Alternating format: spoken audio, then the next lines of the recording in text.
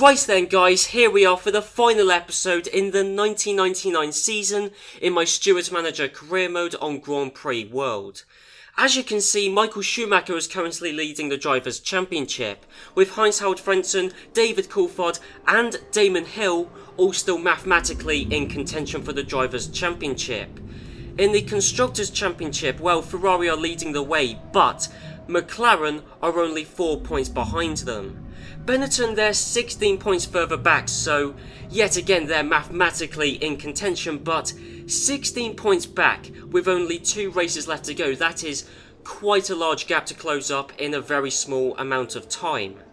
However, well, the previous episode was called Deja Vu, and do you know what? I'm sort of expecting this episode to also be Deja Vu. Well, certainly it is more than possible because well, let me cast your mind back to this exact point in the 1998 season.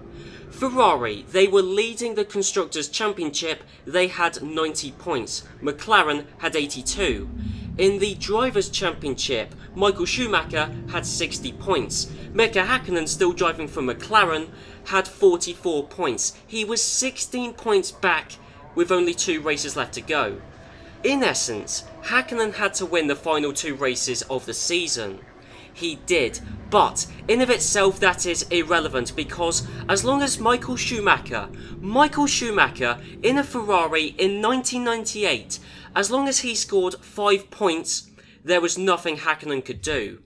But in the final two races, Michael Schumacher scored 1 point. So amazingly, Mika Hakkinen won the Drivers' Championship. He closed up a 16 points lead in the final two races. That's truly staggering. He was 16 points behind with two races left to go, yet he won the Drivers' Championship by three points. McLaren also overtook Ferrari in the Constructors' Championship and won it. Two races before the end of the season, they were behind Ferrari they ended the season in front of them. Cutting back to this season's Constructors' Championship standings, you can see where I'm going because for the second season in a row, Ferrari are leading the Constructors' Championship with only two races left to run. However, in 1998, they had an 8 point lead heading into the second to last race and still lost. This season, they've only got a 4 point lead. In the Drivers' Championship, it is a very similar potential repetition of the past because Michael Schumacher has got a 10 point lead. 10 points over Heinz-Harald Frentzen in second. However, David Coulthard is only 14 points back. Damon Hill, 16 points back. Damon Hill in fourth is the same number of points behind Michael Schumacher that Hakkinen was last season. Yet, Hakkinen still won the championship. My point is, if McLaren and Hakkinen won last season's championships, there's no reason why something just as unexpected, or even to be honest, mathematically more feasible, could happen this year. Just a quick reminder that the Luxembourg Grand Prix is going to be the Formula 1 debut for Williams' new number 1 driver, Pierre Rainbow. The pay driver, and yes, he is a pay driver, he is funding the team for $5.8 million. And actually, I do have a question about that because, well, the logical thing to do would be to to not actually pay all of that because he's not racing for the entirety of the season. He's just stepped in for the final two races because Frank Williams has fired Jacques Villeneuve. The logical thing to do then would be for Pierre Rainbow to pay 2 sixteenths of that money for the 2 sixteenths of the season which he is participating in, but maybe he'll pay the whole thing. And if he does, that is a brilliant cheat, in essence, a way to have a pay driver in the car for a limited amount of time yet get all the money. Logically that shouldn't be the case, but there's a couple of other systems in the game which make me think that it might be how it works. Anyway, either way, Williams are not in a good position. It doesn't matter if they're getting money from Pierre Rainbow. He is an awful driver. Luckily, he will... Well, he's only contracted to be with the team for the remainder of this season. He is the number one driver, though. staggeringly, Johnny Herbert is still the driver number two, but Pierre Rainbow, as you can see, he'll be free in the year 2000, so he might not be with the team next year. I'll be amazed if he is though, because he's got all one star performance stats, apart from 2 out of 5 overtaking. Now that is, oh yeah, morale, but is morale a performance stat? Dunno. Anyway, I mean, that compares to, of all the drivers, that compares to Alberto Marini, and as we've seen, he's not exactly been an amazing driver, has he? To be fair though, we have been comparing him to Mika Hakkinen, and pretty much anyone is going to look bad compared to Mika Hakkinen, but Marini, well, to be fair, it's excusable. He's got 2 out of 5 speed, and all of his other performance stats, again, apart from morale, which I'm not sure if that counts, is 1 out of 5. So, you know, that's the sort of level of driver we're talking about when I'm talking about Pierre Rainbow. He is on a par with Marini, except Marini actually takes a salary. Pierre Rainbow has to pay for his seat. So that really does tell you a lot. Well, this is going to be exciting. The Luxembourg Grand Prix at the Nürburgring, and there is a lot to look forward to because we've got the debut of Pierre Rainbow, which I am looking forward to. But more importantly, more interestingly than that, we have got both the Drivers' and Constructors' Championships, which are open, and in the case of both championships, could be won by more than one driver or team. Three teams still in contention for the Constructors' Championship, four drivers in contention for the Drivers' Championship. So, if there's a slip up from any driver, a lack of reliability, it will be massively damaging. So, well, let's just find out what happens at the Nürburgring.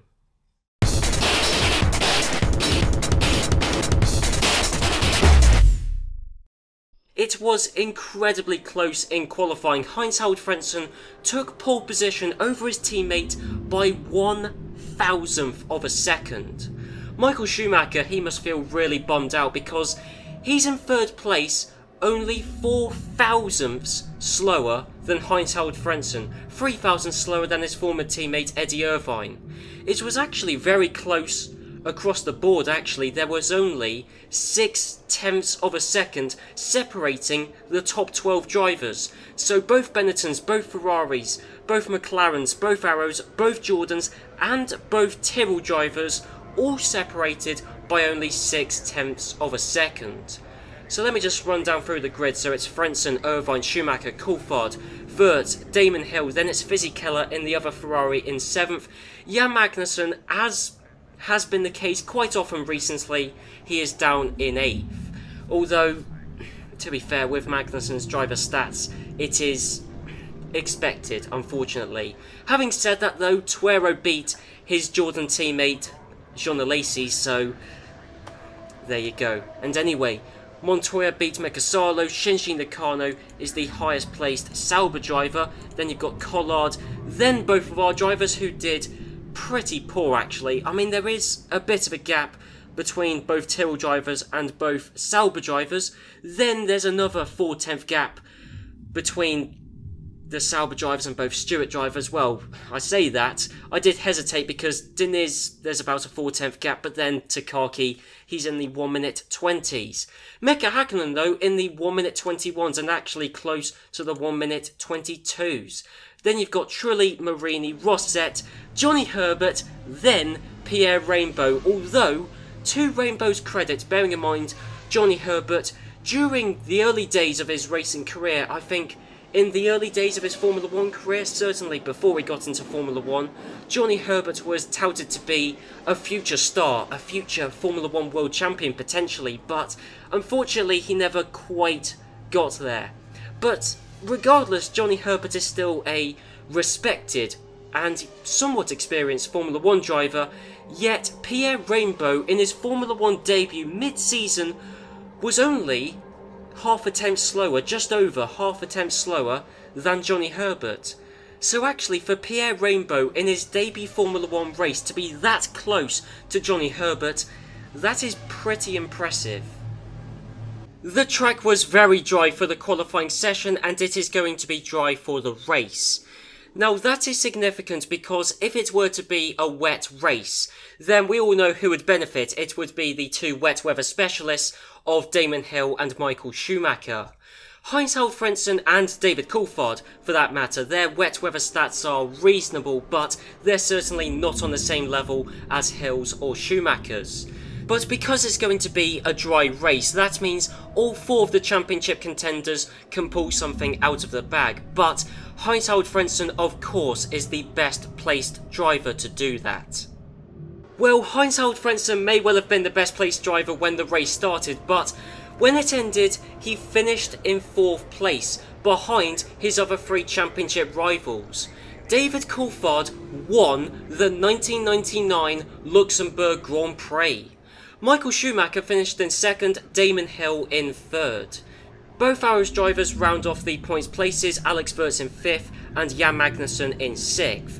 Then you've got Tuero, Montoya, Nakano, Solo, Salo I should say, not Solo, Mika Salo in 10th, Emmanuel Collard 11th. Then Pedro Diniz, the first of our two drivers, he was lapped once. Then you got Alberto Marini just one place back, he was lapped three times. As was Johnny Herbert and Ricardo Rosset, and actually quite a few drivers retired. Fisichella retired with a engine failure, as did, well, as did Toa Takaki, actually.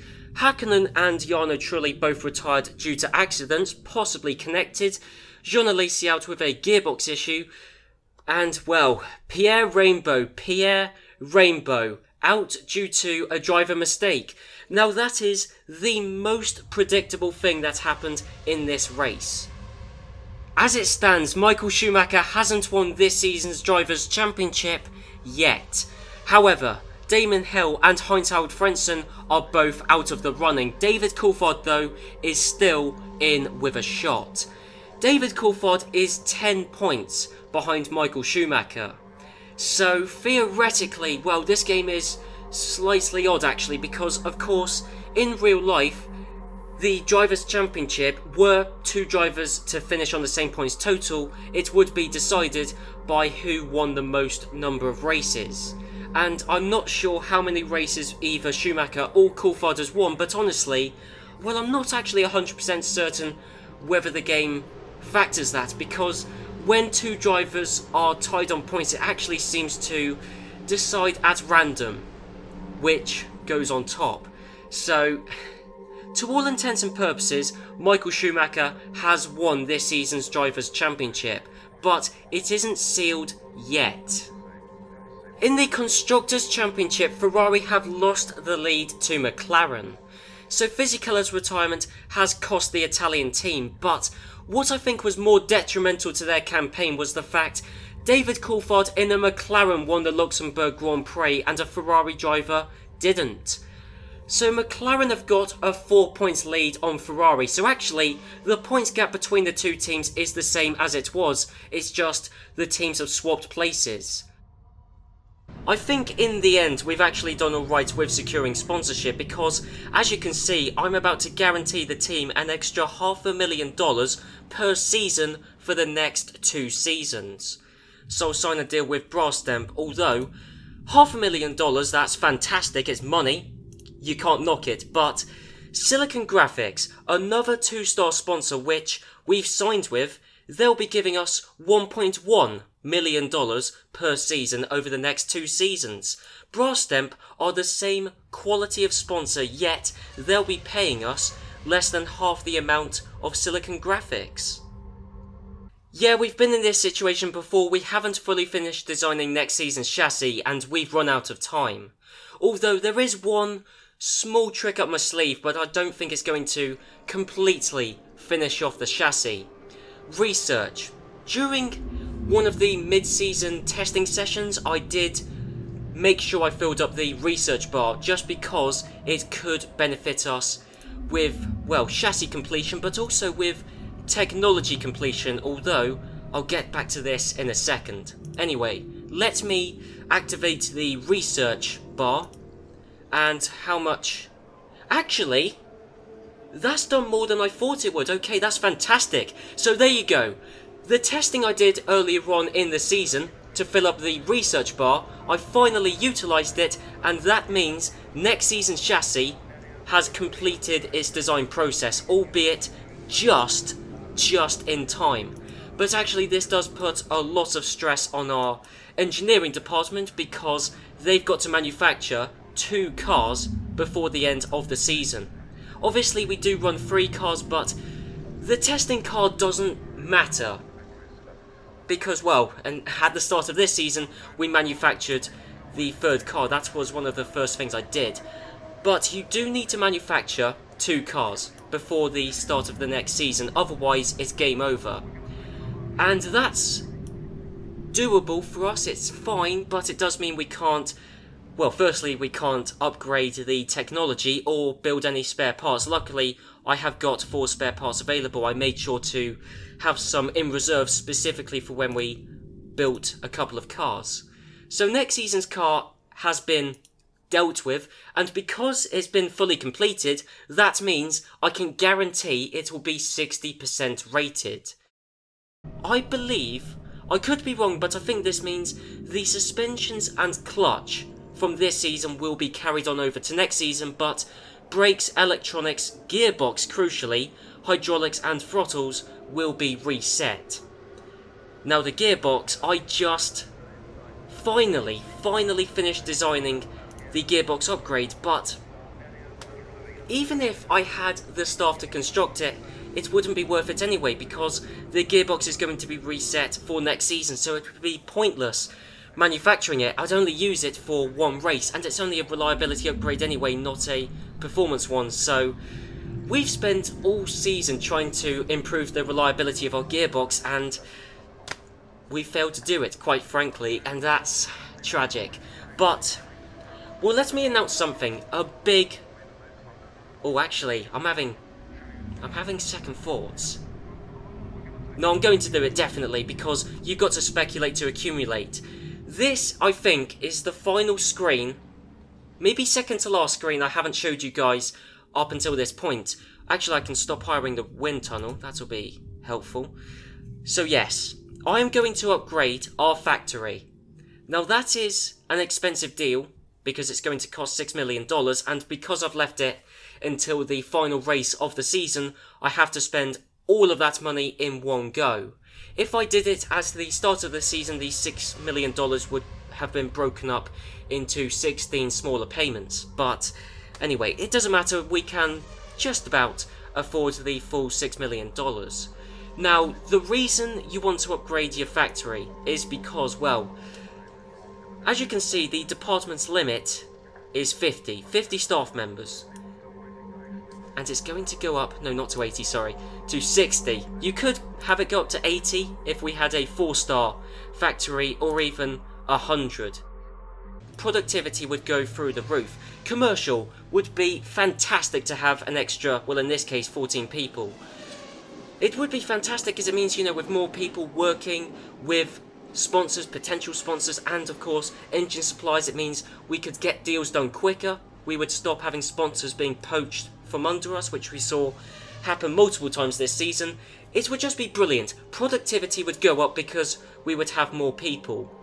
It's hard to even retain staff to be honest, but that's not really the biggest issue. The biggest issue is that we can't employ more than 50 people. That is until we improve the factory, which I'm going to do. So, I'm going to spend $6 million. This is why I desperately wanted well, to avoid customer deals, to get paid drivers, pretty much all of the decisions I've made up until this point has led to this.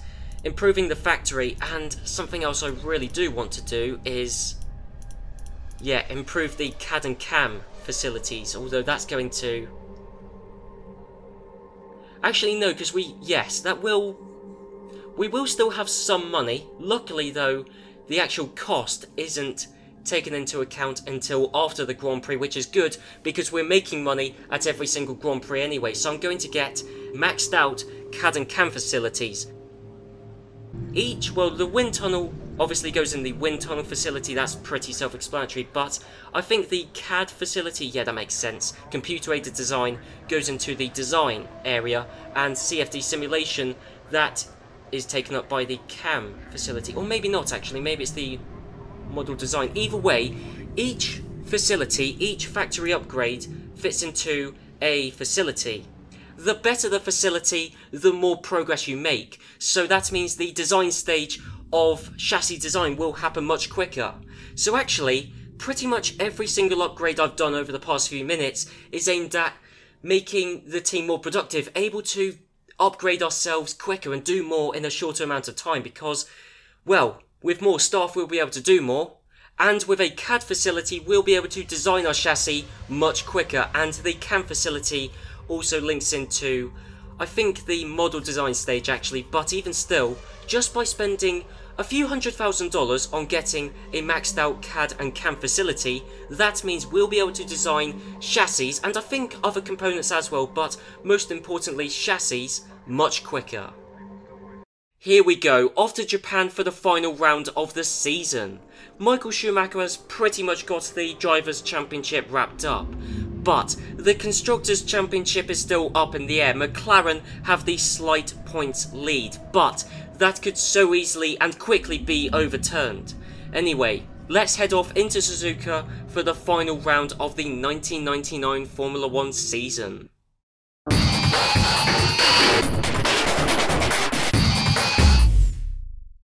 Will a heavy rain qualifying session near as damn it rules out any possibility that David Coulthard could win the Drivers' Championship. However, it doesn't really benefit either Ferrari or McLaren because both teams have got a wet weather specialist. Ferrari have got Michael Schumacher, McLaren Damon Hill, but both of their, I was going to say second drivers, that would be the wrong term, but both of their other drivers aren't massively skilled in wet weather. David Coulthard and Fisichella probably similarly skilled in wet conditions. So, heavy rain actually doesn't really favour one team or the other. Michael Schumacher, of course, with Jean Alesi in second. Actually, Jean Alesi is very good in wet weather conditions, but I could be wrong, but I think Michael Schumacher and Damon Hill both have 5 out of 5 wet weather stats, Jean Alesi 4 out of 5. So it's Michael Schumacher on pole position for the 1999 Japanese Grand Prix. Jean Alesi is in second with Damon Hill in third. Giancarlo Fisichella in the other Ferrari is ahead of David Coulthard, who is in the other McLaren, but he is still McLaren's driver number one. Supposedly, anyway. Alex Wurz is in sixth. Shinji Nakano, he never fails to amaze me. Shinji Nakano is in seventh. Heinz-Harald Frentzen heading into the previous Grand Prix was a Drivers' Championship contender. In this very race, he qualified down in 8th. Yes, he did beat his teammate Eddie Irvine, but that's not really impressive. I mean, we're talking about someone who was, up until very recently, the runner-up in the Drivers' Championship, and he's qualified down in 8th. Yes, he did beat Mika Hakkinen, and Hakkinen is very adept in the wet weather, but Hakkinen's in a Prost. Of course he's going to qualify low down. In fact, for Mika Hakkinen to qualify in 10th with that car, that is some going. Esteban Tuero really didn't do well compared to his teammate, and actually the same can be said with Jan Magnussen, who qualified down in 12th. But, I mean, it's fairly obvious that both of those drivers aren't wet weather specialists. Congratulations to Pierre Rainbow. Of course, this is only Pierre Rainbow's second Formula One race, Qualifying was done in heavy rain conditions, he was only three tenths slower than his teammate, and Pierre Rainbow beat Alberto Marini. Rainbow and Marini, they're both on a par, they're both drivers who weren't originally in F1 and shouldn't be. They really shouldn't, but Rainbow in a worse car was quicker than Marini by half a second. And, well, Ricardo Rosset really did let himself down there, really did. To be fair, he is driving a Minardi, but, I mean, he's behind Marini and, more embarrassingly, Pierre Rainbow, although I think the driver who's really got egg on his face is Emmanuel Collard, because Emmanuel Collard has been banned after qualifying. So it's going to be a dry Japanese Grand Prix, so that should actually level out the playing field. Who knows? I'm still expecting Michael Schumacher to do well because he's got the natural talent and the car to win the race. Michael Schumacher has won the 1999 Japanese Grand Prix and with it, the 1999 Drivers' Championship. Damon Hill finished in second, Eddie Irvine did much better compared to qualifying as he finished in third.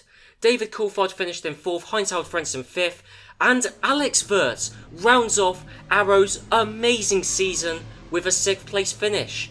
He beat Giancarlo Fisichella, then you've got Jan Magnussen who finished in eighth. Then you've got Tuero and Nakano. Those two drivers never cease to amaze me because they're both former Minardi drivers, they're both pay drivers, they're both in middling teams, and Nakano especially does pretty well to be fair. You're comparing Nakano to Collard, and Collard's not exactly amazing, but Tuero on this occasion finished in ninth. Yeah, sure, we can't actually compare him to his teammates because presumably, presumably, yep, there you go. Jean Alesi retired with an engine failure, as did Mika Salo, but what caught my eye there was Tua Takaki out with a gearbox issue. Now, that's brilliant. I said it would be pointless manufacturing the improved reliability gearbox. As it turns out, nearly pointless. Anyway, Takaki out with a gearbox issue, Rainbow out with a gearbox issue, and Pedro Diniz was the first driver to retire from the race due to having an engine issue, and do you know what? a really poor season for us. Financially fantastic, but on track, a really poor season has ended in a way befitting our season as a whole. There we go, confirmed in black and white. Michael Schumacher is the 1999 Drivers' Champion. And he's won it convincingly, David Coulthard in the end, 17 points back. Heinz Harald Frentzen... Heinz Frentzen, 21 points behind Michael Schumacher. I think, arguably, the driver who should have won the championship, certainly I am not saying Michael Schumacher doesn't deserve it, because you could certainly quite easily argue a case for Michael Schumacher having been the best driver all season, but I personally would give that honour to Damon Hill. I really would, because Damon Hill, I think, suffered more reliability issues than Michael Schumacher. There was a time in the middle of the season where Damon Hill just couldn't finish a race. It was actually tragic, it really was. Damon Hill, he just... I think he had the championship lead and it just slipped away. Alex Wurz, the Arrows driver, has finished the season in 5th. Then you've got Fisichella in 6th, Eddie Irvine in 7th, Jan Magnussen all the way down in 8th with 23 points, although I still believe that Jan Magnussen did exceed his driver ratings. Because Magnussen, if you're going based on the driver stats, he's awful, but, you know, he still finished 8th in the Drivers' Championship. He still beat Jean Alesi. And actually, I think, come the end of the season, actually, probably, if you take the season as a whole, I think the Arrows car was probably the fourth quickest one anyway, so I think Magnussen finished pretty much where you would expect him to anyway. Jean Alesi finished ninth in the Drivers' Championship. Alesi has been fantastic this season, certainly one of the standout drivers. A couple of his race results are suspicious to say the least, because there have been a few occasions over the course of this season where himself and his teammate have been caught running driver aids illegally, and I think a couple of Alesi's good results can be attributed to that. Even still, Alesi has been fantastic all season long, especially in wet conditions. Shinji Nakano ends the season in 10th, that is fantastic for the former Minardi driver. Mika Salo and Esteban Tuero end the season in joint 11th. Then you've got Juan Pablo Montoya who in his debut Formula 1 season and driving for Tyrrell, he scored a point. As did Emmanuel Collard again in his debut season, except he was driving for Sauber. McLaren are the 1999 Constructors' Champions. That's the second year in a row they've won it, although this season they only beat Ferrari by three points. Benetton finished in third. Arrows, fantastic season. They are finished in fourth, way ahead of Jordan. Sauber in sixth, and actually Sauber, there was quite a big gap between Jordan and themselves come the end. But Sauber, if you're looking at purely race pace, if you discount some of Alesi's, to be honest, I think Jean Alesi is really the big difference between Jordan and Sauber. Because Sauber, they've got Nakano who's impressed, Collard who's been okay, but, well actually Collard and Nakano have been fairly equal, but Jordan they've got Tuero who's kind of on a par, but Alesi is that amazing driver who pulls out the amazing results. Sauber don't have that, neither did Tyrrell, but Tyrrell, once again, fantastic season. Last season, 1998, they were on their knees, on a par with Minardi. They were consistently backmarkers, nowhere near scoring points. This season, they finished 7th in the Constructors' Championship and scored 4 points. Only one behind Sauber. Tyrrell have done amazingly well. Well, that's a vote of confidence. I've been named as the least effective manager in F1, meanwhile Ron Dennis was named as the best F1 manager. That is over the course of the Japanese Grand Prix weekend, but over the entirety of the season, I was named as the worst manager of the year. Now, I would dispute that because I think Frank Williams has been worse. I mean, you could argue that Williams have been in a worse position this season, so Frank Williams has had less to work with, but Williams were in a bad position because of the decisions Frank Williams made. I mean, you can't really, you can't really say Frank Williams has done well. Anyway, I mean, to be fair, I can't exactly argue I've done well either, to be honest. I just think I've done less badly than Frank. Ron Dennis has been voted as the Formula One Manager of the Year. I can't argue against that. I really can't. Ken Tyrrell, second best manager of the season. Couldn't agree more. Tom Walkinshaw, third best manager of the season. I think that's fair enough because Tyrrell and Arrows have done amazingly well. Truly spectacular. Oh yeah, of course, yep, this screen glitched again Jim Wright, supposedly the driver's champion. Last year, supposedly, it was Frank Williams, who was the driver's champion. Fantastic. Anyway, here we go into the year 2000. That's what $625,000 has got me, a maxed out design facility and model design facility. So that, in combination with the extra staff capacity, means firstly we shouldn't have to worry about not completing the design of the following season's chassis in time, but also means we'll be able to improve our current season's chassis much quicker. It may well be a brand new season, a new year, and even a new millennium, but some things don't change and that is staff resigning. To be fair, with the low morale across the board, I don't really blame them, but we're on the up and up. This season will be better for us than the previous two seasons. So that's pretty much everything for this episode. I've had a quick look around and there have been some quite interesting developments, all of which I will say for the next episode, but one thing which I will say, because it's in the news already, Mika Hakkinen has announced that he will retire from Formula 1 at the end of the season. So we're going to say goodbye to a so we're going to have to say goodbye to one of the biggest names in the sport. But not before he's had a chance to become a triple world champion. Mika Hakkinen will still be racing with Prost next season, but Prost, unlike this season, should have one of the best chassis on the grid. Trust me, I don't think the 2000 season is going to disappoint. I'm looking forward to it, I hope you guys are, and you can join me in the next episode in which we'll be starting off the 2000 Formula 1 season. So see you guys then.